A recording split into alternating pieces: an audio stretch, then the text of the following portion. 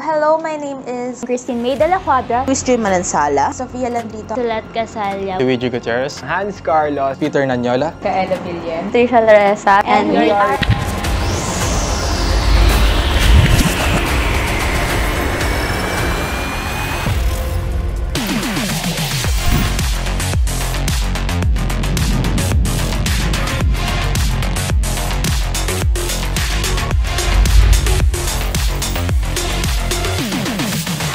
Our capstone project is Entitled Photos. Manila Zorific Adventure. Masculinity. Alpas, 360 virtual tour with To The Explainer video. Ibado. Paano naman si Bantay? Natal na, Hibla. Hashtag love yourself more, Marena.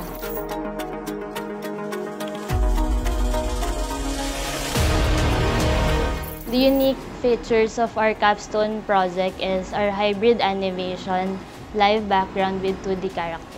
Is a hybrid of a live action and a animation which features the poems and works of our featured author. In terms of our 2D animation, we use skeletal animation technique. Meron din kaming original music, which is composed by our project manager. Meron din siyang English subtitles.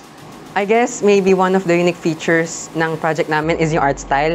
So, naging ganun yung art style niya kasi pinag-match namin yung skills namin. Like, kung saan ba kami magaling, kung saan ba kami magiging mas productive if gagawin namin to. Like, may magaling sa 2D, may magaling sa 3D. Also, um, parang isa pang unique sa amin is we created a genderless character para hindi mag-focus yung mga audience sa character traits but to information.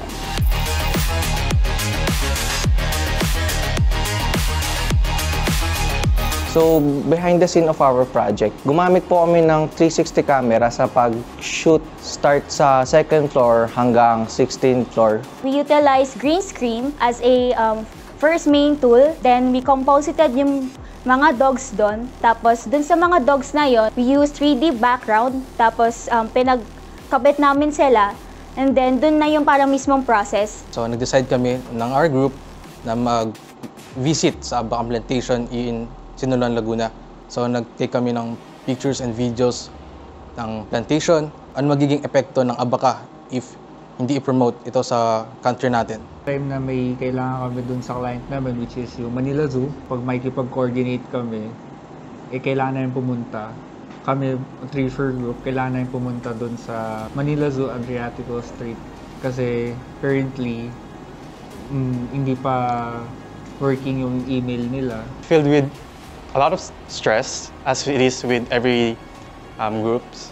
And we didn't have the luxury of doing a boot camp, so it kind of got uh, kind of lonely at times. So, yun lang.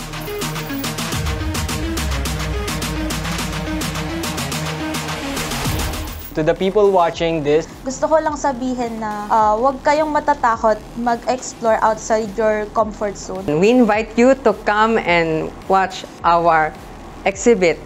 And ayun, we look forward to your presence kasi talagang pinaghandaan namin to lahat ng mga projects na to. So, we can't wait you to see our beloved projects. And thank you guys.